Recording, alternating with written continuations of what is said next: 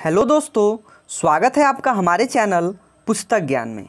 दोस्तों, आज के इस वीडियो में हम लोग देखेंगे क्लास नाइन्थ के इंग्लिश बुक लिटरेचर रीडर का fourth chapter, keeping it from Harold का Hindi explanation.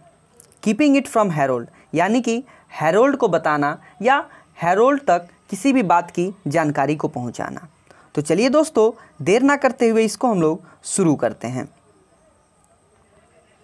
हैरोल्ड 10 साल का एक नवयुवक था। चूँकि वो 10 साल का था, लेकिन उसे बच्चा कहलवाना जो था, वो बिल्कुल ही पसंद नहीं था। इसीलिए वो नहीं चाहता था कि कोई भी व्यक्ति उसे बच्चा कहे। पिछले साल में वो अपने विद्यालय में डिक्टेशन और अपने स्कूल में वो बहुत सारा इनाम भी हासिल कर चुका था। चूँकि वो एक तेज विलक्षण बुद्धि का था, इसलिए स्कूल में उसे बहुत सारे इनाम भी मिले हुए थे। उसकी माँ, श्रीमती मिसेज ब्रैम्बिल को बहुत ही गर्व था कि वो हैरोल्ड जैसे बच्चे की माँ है तथा उन्हीं के कारण यह विलक्षण प्रतिभा इस संसार में आई है। हेरोल्ड अद्वितीय था और वो बाकी जितने भी बच्चे थे, उनसे ये बिल्कुल ही अलग था। वह पूर्णतया अपनी जो समय था, वो पुस्तक के प्रति वो समर्पित करता था। अधिकतर समय वो किताबों के साथ ही लगा रहता था। पढ़ने लिखने में उसका बड़ा ही मन लगता था। वह अच्छाई और बुद्धि का एक प्रशंसनीय नमूना था। यह हैरोल्ड का पूर्णतावाद ही था, जिससे उसके माता पिता को सच की कुर्बानी देनी पड़ी।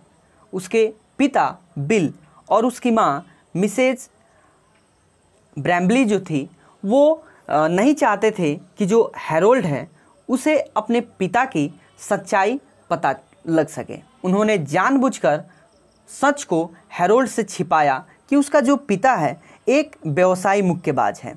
और बाकी जितने भी जो लंदन के लोग हैं, वो उन्हें उनके गुस्सैल स्वभाव के कारण योंग पॉर्की के रूप में अधिक जानते थे। बिल की सच्ची पहचान हैरोल्ड से छुपाई गई थी। जब वो बच्चा था, इसका उस पर ज़्यादा फ़र्क नहीं पड़ता था। लेकिन जब उसने चीज़ों को जानना शुरू कर दिया, तब मिसेज ब्रैम्बली ने अपने पति को मनाया कि वे इस बात को हेरोल्ड से छिपाए रखें।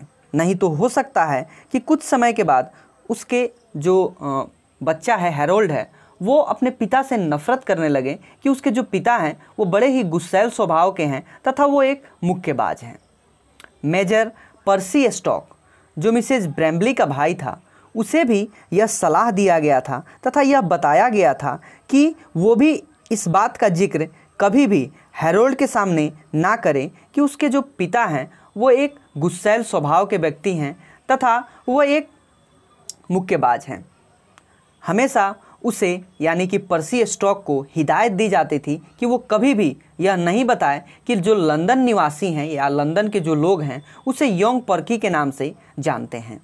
यदि हैरोल्ड एक आम बच्चा होता तो वह बिल की पहचान को उससे कभी भी नहीं छुपाते। वह बिल के बारे में उसे बता देते। लेकिन चूँकि वो बाकी बच्चों से बिल्कुल भी अलग था तथा पढ़ने लिखने में वो बहुत ही अधिक बुद्धिमान था, इसीलिए उसकी माँ और बिल जो है, ये नहीं चाहते थे कि उनकी जो छाया है, उसके जो पिता बिल हैं, उसकी जो छाया है, वो बच्चे के ऊपर पड़ जाए।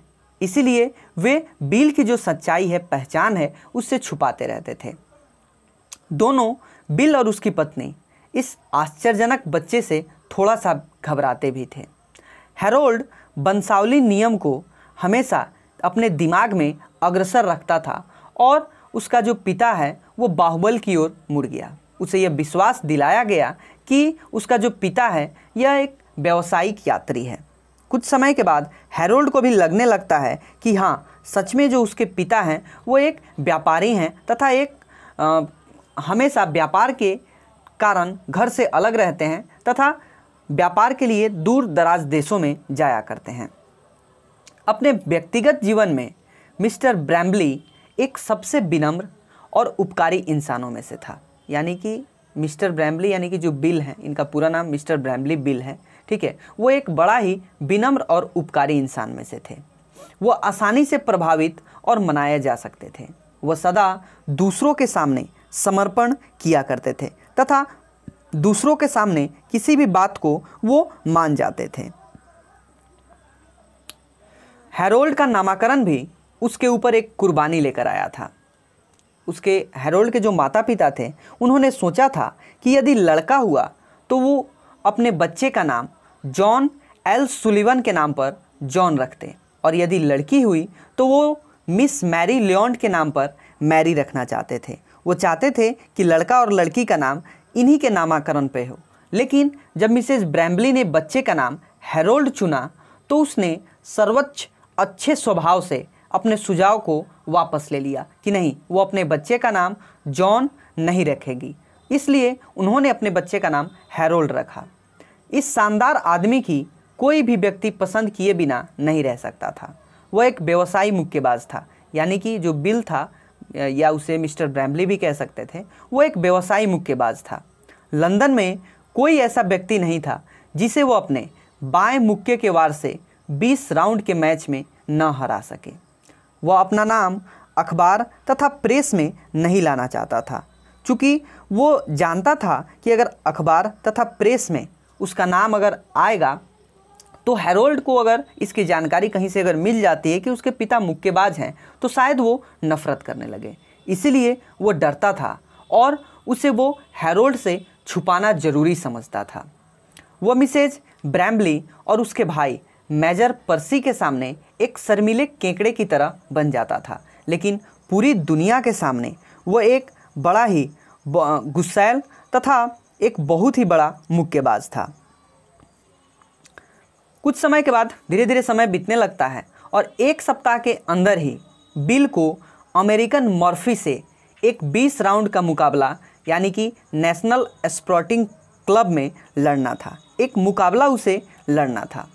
वो व्हाइट है नामक स्थान पर प्रशिक्षण ले रहा था। जेरी फिशर जो था, उसके प्रशिक्षक थे या टीचर थे, जिससे वो सीखता था। जो जेरी फिशर थे, वो विज्ञापन में विश्वास करता था। वो चाहता था कि उसका जो शिष्य है बिल ब्रैम्बली उसके बारे में विज्ञापन दिया जाए तथा विज्ञापन में बताया जाए ताकि इस मैच को देखने के लिए दूर दराज से बहुत सारे लोग आ जाएँ। वह इस बड़ी घटना का अखबार में अच्छा खासा स्थान भी चाहता था। लेकिन बिल अपना नाम अखबार में आने देना नहीं चाहता था। वो चाहता था कि अगर अखबार में कहीं भी अगर उसका नाम आया तो शायद उसका बेटा हैरोल्ड अगर पढ़ लेता है या मेल में उसे देख लेता है, चूँकि वो नियमित रूप से अपने मेल को पढ़ता रहता है। अगर मेल के द्वारा उसे पता लग जाएगा तो वो जान जाएगा कि उसके पिता असल में कौन है। इसलिए हेरोल्ड के लिए बिल ने आखिरी समय पर मुकाबले से अपने नाम को हटा लिया। वो नहीं चाहता था कि उसका जो असली जो पहचान है, वो अपने बेटे तक पहुँच जाए। मिसेज ब्रैम्बली कभी भी बिल के व्यवसाय को पसंद नहीं करती थी। वो नहीं चाहती थी कि उसका जो पति है, वो इस तरह से मुक्केबाजी करे। लेकिन वो जानती थी कि एक व्यवसायी मुक्केबाज के रूप में बिल ने काफ़ी पैसा कमाया था। इस पैसे ने उन्हें हैरोल्ड को एक ड्यूक जैसी शिक्षा देना संभव बनाया। मुकाबले में विजेता को 500 पाउंड और हारने वाले को 100 पाउंड 125 पाउंड मिलने वाले थे। लेकिन मिसेज जो ब्रैम्बली थी, वो चाहती थी कि अगर काश उसका जो पति है, वो खेलता इस इस मैच में या इस मुक्केबाज मुकाबले में अगर वो शामिल होता तो ये जो पैसे हैं 500 पाउंड अगर वो उन्हें मिल जाता तो हैरोल्ड की शिक्षा पे इसे खर्च किया जा सकता था, या हैरोल्ड के पढ़ाई लिखाई में इसे लगाया जा सकता था। लेकिन ऐसा हुआ नहीं। अंतिम समय में जो बिल है, वो मैथ से अपना जो नाम है, उसे निकाल लेता है और अपने बेटे के खातिर वो मैथ से बाहर हो जाता है। उसे अपने भाई पर्सी का बिल को मुकाबले से हट जाने का मूर्खतापूर्ण सुझाव भी पसंद नहीं आया था। मिसेज जो ब्रैम्बली थी उसके भाई भी उससे आ, कहता था कि नहीं उन्होंने ये अच्छा नहीं किया कि उन्होंने अपना नाम मुकाबले से हटा लिया। जेरी फिशर ने बिल के मुकाबले से हट जाने को बहुत ही दयालुता से नहीं लिया। उसने सोचा कि उसके साथ बहुत ही बुरा व्यवहार हुआ था। उसे बिल पर गर्व था। वो जानता था कि जो बिल है ये अच्छा प्रदर्शन कर सकता था, लेकिन अब वो बिल से सबसे अधिक नफरत करता था। वह बदला लेने के लिए मचल रहा था। वो चाह रहा था कि किस तरह से वो बिल से बदला ले। उसे, अब उसने इस भेद को खोलने के लिए कि जो उसका बेटा हैरोल्ड है, इसको वो बताना चाह रहा था कि एक्चुअल में उसके जो पिता हैं, बिल हैं, वो एक मर्चेंट नहीं है, एक यात्री नहीं है और एक व्यवसायी नहीं है। वो बताना चाहता था या उसने बाद में उसके बेटे जो है हैरोल्ड उसे बता भी दिया कि उसके जो पिता हैं, वो एक मुक्केबाज हैं तथा एक गुस्सैल आदमी हैं, जो योंग पॉर्की के नाम से जाना जाता है। हर एक आदमी इस बात को सुनकर बड़ा ही भौचक रह जाता है। जैसे जेरी फिशर ने बिल की असली पहचान का भेद बता दिया हो। हैरोल्ड को व्यवसायिक मुक्केबाजी में काफ़ी रुचि थी। जो हैरोल्ड था, बिल का जो बेटा था, उसे मुक्केबाजी में बहुत ही अधिक रुचि था। वो चाहता था कि मुक्केबाजी में वो जाए और मुक्केबाजी को वो आनंद ले तथा उसे देखे। योंग पॉर्की के सामने जिमी मॉर्फी दस राउंड भी नहीं टिक पाएगा। इस बात को कि उसका जो पिता है, वो योंग पर्की है, छिपाने को उसने एक सड़ा हुआ फैसला करार दिया। उसने कहा कि उसके पिता ही योंग पॉर्की है, लेकिन उसे आज तक इस बात की जानकारी नहीं थी। उसे अपने पिता पे गर्व हो रहा था। उसके स्कूल में एक जो उसका दोस्त था, जो इस बात पे घमंड करता था कि उसने फिलिपियन स्कॉट के ऑटोग्राफ ले लिए थे। उसके साथ ही जो थे हैरोल्ड को चश्मुद्दीन कहकर बुलाते थे। अगर उन्हें पता होता कि उसका जो पिता है, वो योंग पर्की है, तथा यहाँ का एक बहुत ही मशहूर मुक्केबाज है तो शायद उन्हें वो चश्मुद्दीन कहकर नहीं बुलाते। मुकाबले से हट जाने का निर्णय एक सबसे बेहुदा फैसला था। वह मुक्केबाजी करते हुए अपनी बाप की एक तस्वीर लेगा और उस पर घमंड करता फिरेगा। इस बात की जो मलाल है, हैरोल्ड को हमेशा रह गई। विडम्बना यह थी कि जिस चीज़ को हैरोल्ड के माता पिता छिपाना चाहते थे वह उसके लिए सबसे बड़ा एक सम्मान हो सकता था। लेकिन ऐसा नहीं हुआ, चूँकि उसके माता पिता ने शुरू से ही अपनी जो पहचान है, हेरोल्ड से छुपा कर रखा था।